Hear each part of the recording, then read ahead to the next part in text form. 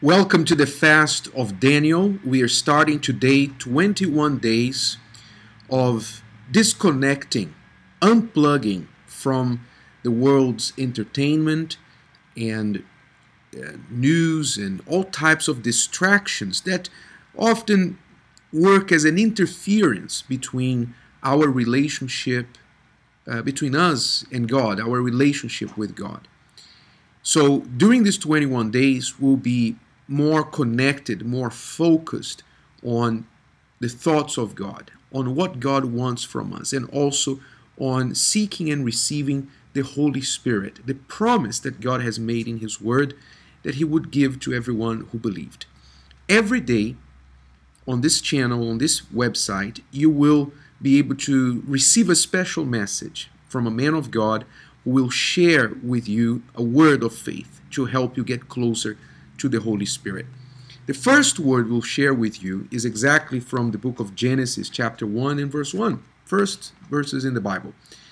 They say, In the beginning, God created the heavens and the earth.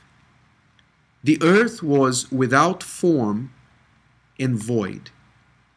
Without form and void, just like the life of many people. No form, empty, formless. And darkness was on the face of the deep.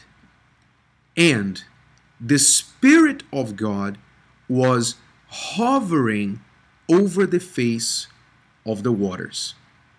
So, the Holy Spirit, when he came into action in, in the world, he was the agent of God in the work of creation. The void and formless earth took shape and became the beautiful nature that we see today. That is all the work of the Holy Spirit. In the same way, when you receive the Holy Spirit, He works in your life and He takes the void and He fills it. He takes the formlessness and He shapes it up. He gives your life a beautiful appearance. Now, He can only do that upon invitation. Would you like the Holy Spirit to come upon you? Because He's right there. Like He was hovering over the face of the waters. He is hovering now over you. The Holy Spirit is not hiding from you. Do you want to receive Him? Will you invite Him into your life right now? So pray with me. Stretch out your hands to my hands right now, where you are, and repeat this prayer after me. Say with me, Holy Spirit, I ask you in Jesus' name to come upon my life enter my heart and remove from me all the void. Fill the void in, the empty space in my heart and shape up my life so it can reflect your glory and beauty. In the name of the Lord Jesus Christ. Yes, receive the Holy Spirit there where you are.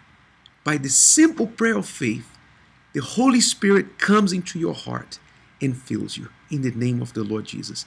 Now, if possible, after this video is finished, if you can continue praying in your own words and seeking the Holy Spirit, go ahead. If you need to go to a separate room to be by yourself, go ahead. But seize this opportunity and ask the Holy Spirit into your life. He will come right into your heart right now. We'll be back tomorrow here, a man of God sharing another word of the Holy Spirit with you. But now go ahead and pray in Jesus' name. God bless you.